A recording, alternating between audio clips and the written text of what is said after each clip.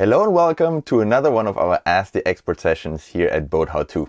I'm Jan Attenstedt. We're talking to Nigel Calder. Hi. Today we have another electrical question and actually about lifestyle as well. And that is, um, what are the options on going to an electric galley? What about an induction cooktop with convection air fryer combo?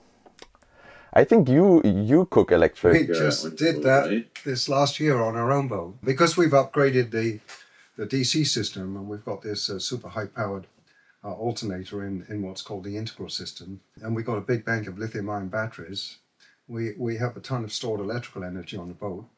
So we put an induction stovetop on the boat, but we uh, don't have an oven that goes with it. Uh, that, that would be an expensive retrofit to pull out our propane stove and do all of that. We can put the uh, countertop induction stove on the boat.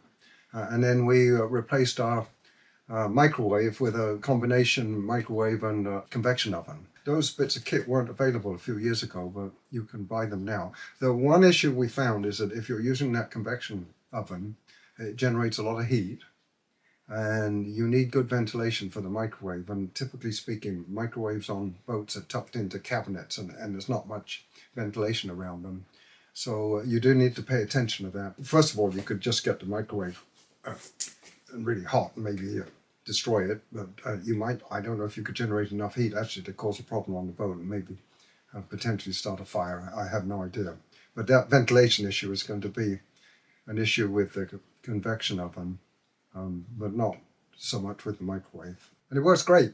And in fact, uh, this last uh, two summers on the boat, we've almost never used the propane at all. And one of our next steps would be, if we were to keep the boat, would be to pull the whole propane system off the boat and go all electric pretty amazing that that's possible these days. Huh, with the I know. Technology. I mean, it was inconceivable a decade ago, uh, unless you had a generator and you ran the generator uh, long hours every day.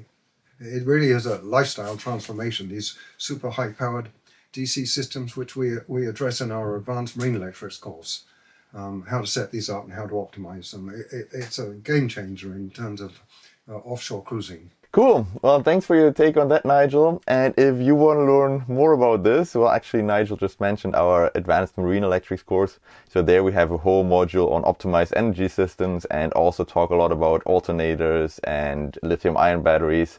So basically how to put all these things together to get a really optimized um, and very high like a system that really allows for a very, very good lifestyle on the boat. So check that out, boathowto.com and see you soon.